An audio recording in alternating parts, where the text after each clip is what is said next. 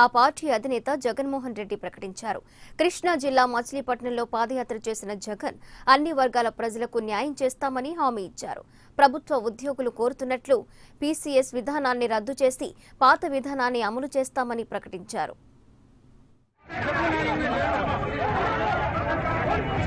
దానం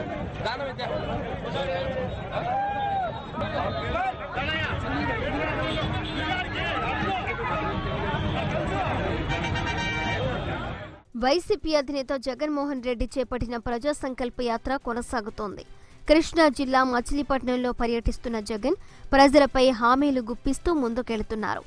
ఏళ్ళ చరిత్ర ఉన్న బందరు నేటికి అభివృద్ధికి నోచుకోలేదన్న జగన్ అధికార టీడీపీపై విమర్శలు గుప్పించారు. ఇచ్చిన హామీలను అమలు చేయకుండా అన్ని వర్గాల వారిని చంద్రబాబు నాయుడు మోసం చేస్తున్నారని ఆరోపించారు.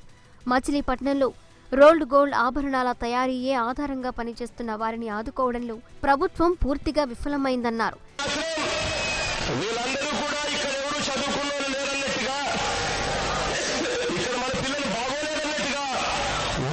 వచ్చేసరికి రాజస్థాన్